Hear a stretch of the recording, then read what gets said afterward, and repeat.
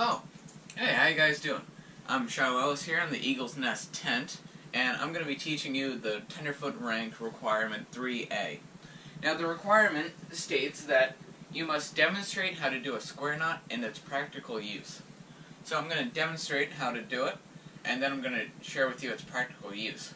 So, you're going to grab two ends of a piece of rope, and you're going to put right, you're going to uh, cross it right over left, and then you're going to go right through like you're tying your shoelace, uh, and then you're going to go left over right, and then right through back again, and you will get yourself what looks to be a square knot like this. And to show that you did it correct, if you push the two ends uh, close to each other, it should separate like this, and then go back to its original form.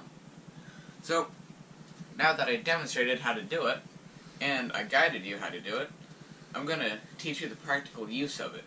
The practical use of a square knot is if you're tying two pieces of rope together to extend it.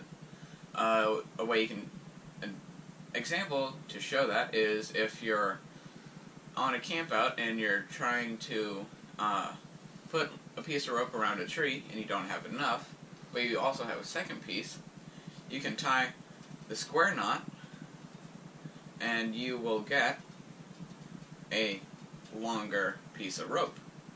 So that's how uh, the square knot is used and how you do it. Uh, watch my next video on how to cook a steak in a tent. I'll see you guys later.